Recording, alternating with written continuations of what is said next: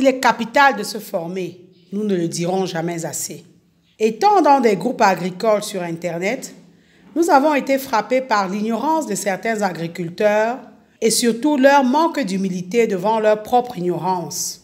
Tout part d'un post sur les réseaux sociaux où une personne a publié une annonce, l'intitulé Urine de lapin à vendre, 1000 francs le litre.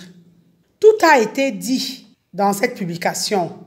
D'aucuns disaient, oh, à l'ouest du Cameroun, on vend tout. Je dis bien tout. Il y a le culte de l'argent Dieu. Pour d'autres, ils ne savent même pas sur quoi frapper les gens. Urine de lapin. C'est lapin uriné dans un seau la nuit ou bien dans un pot. Oh là là, la sorcellerie. Urine de lapin. Maintenant, on vend les urines de lapin. Et d'autres, vous faites même comment pour recueillir et en combien de temps et pour combien de lapins peut-on avoir un bidon de 10 litres?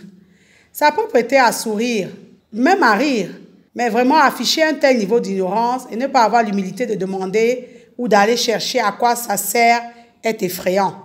Oui, on peut ne pas tout connaître, mais à l'heure des TIC, des technologies de l'information et de la communication, toute information est disponible sur Internet. Google est un moteur de recherche qui répond à toutes les questions qu'on peut se poser. Il existe d'autres moteurs de recherche. Apprenons à utiliser Internet de manière intelligente. Interroger un moteur de recherche quand on ne connaît pas quelque chose doit devenir un réflexe, y compris chez les agriculteurs. Les analphabètes du 21e siècle ne seront pas ceux qui ne savent ni lire ni écrire, ce seront ceux qui ne savent pas apprendre, désapprendre et réapprendre y compris à l'aide des outils comme les réseaux sociaux et Internet. Revenons à notre sujet de l'urine. L'urine en général et l'urine de la paix en particulier peut être utilisée en agriculture. L'urine contient la plupart des macro-éléments ainsi qu'une partie des oligo-éléments excrétés par les êtres vivants. On trouve de l'azote, du phosphore, du potassium, du soufre ainsi que des oligo-éléments dans l'urine sous une forme disponible pour les plantes. Les plantes ont besoin de trois nutriments principaux l'azote, le phosphore et le potassium. L'azote est nécessaire pour la croissance des feuilles. Le phosphore pour les fleurs et les fruits. Le potassium, quant à lui, se charge de la santé des plantes. Un litre d'urine contient environ 6 grammes d'azote, 1 g de phosphore et 2 g de potassium. L'urine agit rapidement et est considérée comme un engrais équilibré pour les plantes. C'est donc un engrais naturel qui s'inscrit aussi dans une action écologique. C'est un véritable fertilisant. Cet engrais de qualité a des concentrations faibles en métaux lourds. L'urine est utilisée pendant la culture, lors de la phase de croissance de la plante. Vous arroserez deux à trois fois à deux semaines d'intervalle. Pour l'utiliser, vous pouvez la diluer ou pas en arrosage au pied des plantes. Il est recommandé de diluer pour éviter le surdosage. On parle d'un litre d'urine dans 10 litres d'eau si vous voulez diluer. Il est recommandé de ne pas dépasser 2 à 3 litres d'urine par mètre carré. Un litre d'urine par mètre carré correspond aux besoins des plantes les moins gourmandes, par exemple les salades. Les plantes les plus gourmandes, par exemple les tomates, peuvent accepter des apports situés entre 4 et 5 litres d'urine. L'urine peut être aussi directement utilisée sur un tas de compost. Elle va aider à la décomposition des matières organiques. Ce sont les personnes qui cultivent les légumes qui achètent beaucoup l'urine car les légumes demandent beaucoup d'azote. C'est le cas de l'amarante, la morelle noire, le chou, les épinards, les salades, les poireaux, mais aussi les tomates et les aubergines. Et la dernière application de l'urine doit se faire un mois avant la récolte. Il faut savoir que dans certains pays, comme le Kenya ici en Afrique, les gens élèvent les lapins non pas pour leur chair, mais pour leur urine, qu'ils revendent comme engrais et même comme pesticide. En effet, l'urine de lapin est également un bon pesticide. La pulvérisation de l'urine de lapin fermentée aide à lutter contre les insectes et d'autres nuisibles, y compris les pucerons, papillons de nuit, les mineuses de feuilles, les chenilles et les acariens. Le rendement atteint grâce à la fertilisation à l'urine varie en fonction de nombreux facteurs. Un aspect important est l'état des sols. L'effet de l'urine, tout comme celui des engrais chimiques, est probablement un peu plus faible sur un sol qui a une faible teneur en matière organique que sur un sol ayant une teneur élevée en matière organique. Utiliser de l'urine humaine comme engrais, oui.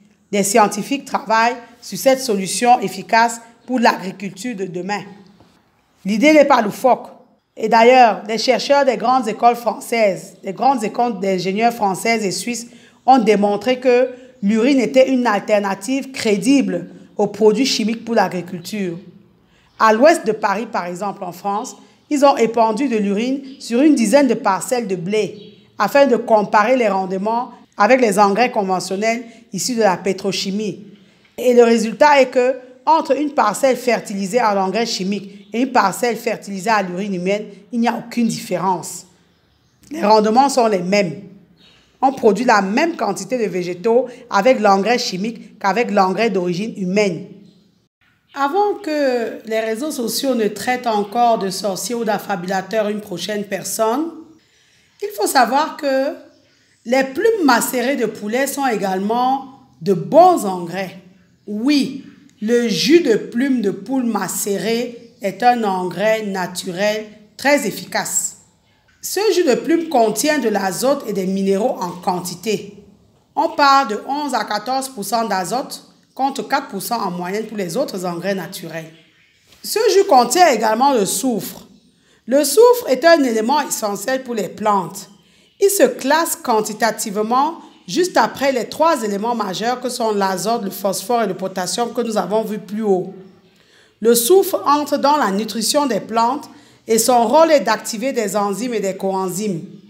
Aussi, ceux qui élèvent ou qui nettoient les volailles peuvent composer le jus de plume macéré et le revendre aux agriculteurs comme engrais naturel.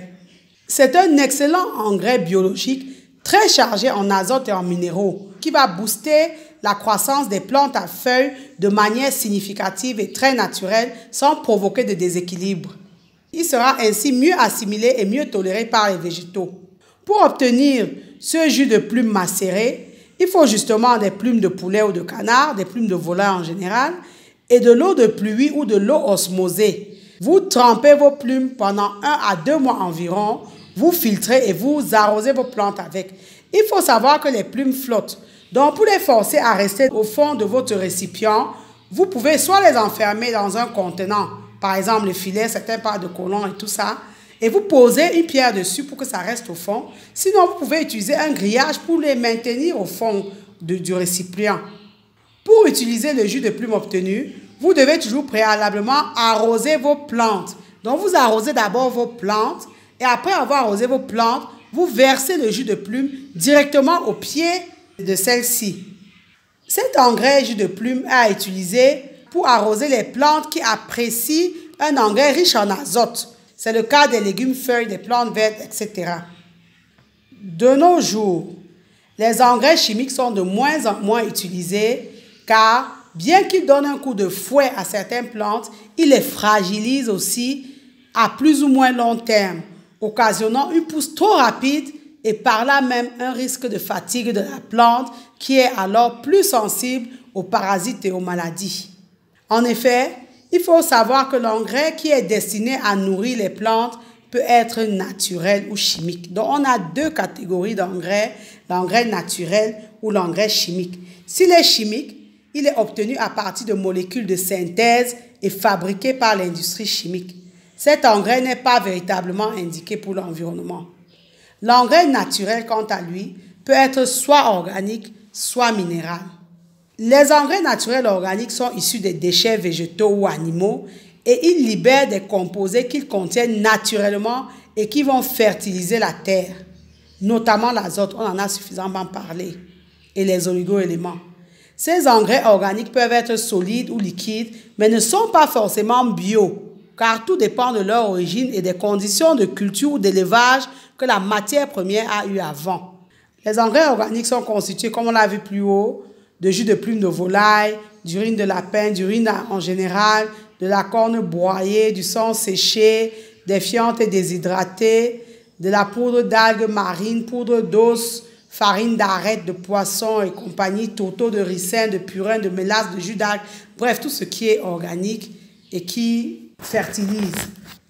Les engrais naturels minéraux sont directement extraits du sol sans subir de transformation chimique. Leur manipulation nécessite une grande vigilance car ils sont très concentrés et peuvent entraîner des brûlures. C'est le cas par exemple des phosphates naturels. Ils sont extraits en carrière située principalement en Tunisie et offrent une teneur très élevée en phosphate. On a également les poudres de roche. Les roches volcaniques s'utilisent sur les sols neutres, calcaires ou alcalins car elles sont riches en silice permettant de lutter contre les maladies des plantes. La poudre de roche basaltique qui contient beaucoup de potassium ainsi que du calcium, du magnésium et du fer conviendra au sol à tendance acide. Vous l'avez compris, ce n'est pas parce qu'on est ignorant d'une chose que c'est la sorcellerie. Faisons l'agriculture en professionnel et en businessman. Si vendre les urines de votre lapin ou le jus de plume de volaille accroît vos revenus, n'hésitez pas, faites-le. D'autant plus que par ailleurs, c'est utile et ça rend service non seulement aux agriculteurs, mais à l'environnement. Utilisons ces outils que sont les technologies de l'information et de la communication pour accroître notre savoir et notre connaissance et non pas toujours pour décourager ceux qui osent. Nous espérons que cette vidéo vous a été utile. Si c'est le cas, dites-le nous en commentaire. Abonnez-vous à notre chaîne Agri TV Web pour ne rien manquer de nos prochaines publications. Comme vous le savez, savoir est le point de départ et agir fait toute la différence. Maintenant que vous savez, place à l'action.